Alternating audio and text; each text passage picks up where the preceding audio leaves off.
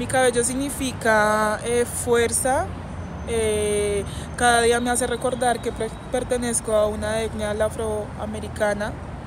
Eh, me gusta llevarlo así, no por querer encajar como antes lo hacía para sentirme más normal a las demás personas, para buscar una aceptación, sino que lo llevo así porque me gusta y hoy lo puedo tener tensado, mañana puedo tener mi afro, lo puedo tener lacio, pero significa eso, libertad que puedo llevarlo como plazca.